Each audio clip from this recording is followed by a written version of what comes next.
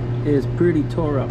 So Dave had the good idea using these Speedi-Sleeves. I don't know why they put just a little bit in this huge ass That's- box. it makes it look more substantial. Right. That's it. It's like conduit. It's like half inch conduit. It's lighter than that though. The reason for putting these on before the Speedi-Sleeve is the Speedi-Sleeve is bigger than everything else. Okay. See how this is? Yep. So it would press against it. Yeah. So Okay. This stuff needs to go on first, then you put your sleeve. Okay. But I like to uh, rough this out, take the shininess off. Okay. What grit is that? 400. Okay. 400.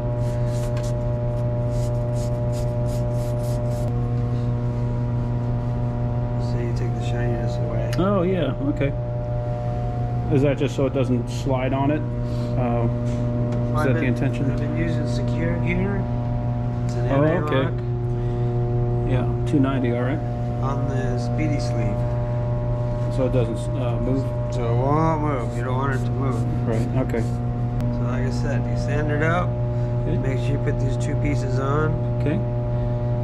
So that's the Uh, bearing, and bearing. the washer. First bit. Okay. And then the washer, Okay. Speedi-Sleeve, insert.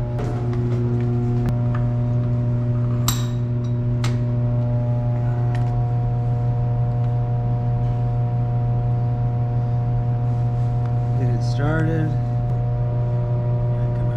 Get it nice all the way around. here. It comes out real wet. Yeah, it's really wet. Okay. Put some in that groove. See how we're pressing it on? Yep. All the way up to the washer.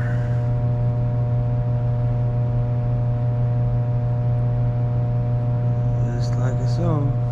Okay. And then just don't go any further than that because you don't want to jam it you up. don't want to squeeze it. Got you. You gotta make sure you blow all that secure gear onto that washer. Okay.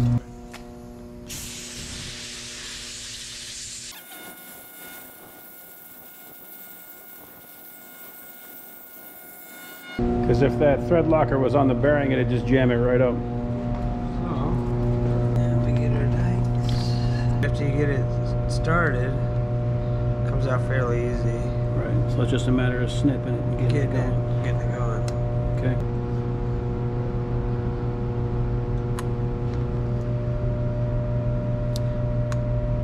After you get it going, you can see it peel.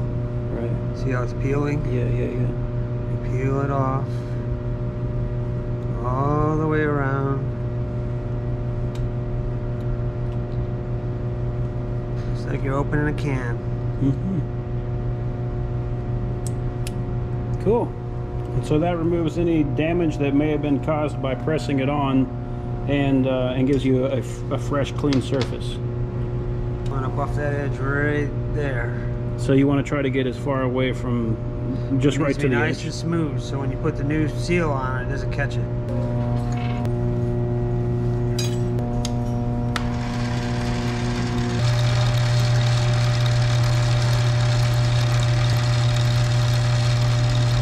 Did you intentionally catch it right there, or was that just luck? What? You, you, you like let go of the sandpaper and it moved up and he just Yeah. caught it right on time. That was just luck. You're okay, I didn't know. You surprise me sometimes. Don't ask me to do it again. Right. Keep it up. Okay, everything's good. Now let it dry. Okay. What do you mean dry? The secure gear. Oh, okay. So you're just gonna let it sit for I a let while. it sit and do the seals on the housing. Okay. And then